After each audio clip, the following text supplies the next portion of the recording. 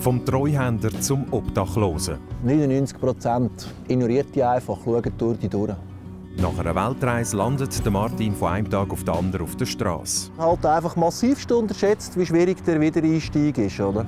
Ausgrenzt und abgestempelt kämpft sich der ehemalige Geschäftsmann seinen Platz zurück in die Gesellschaft. Es geht mir besser, wenn ich es eigentlich locker nehme, als wenn ich da Trübsal blasen und auf die depressive Schiene schiebe, oder? Die Hai auf der Straße vom 16. bis 19. Dezember anstelle vom Zürich Info.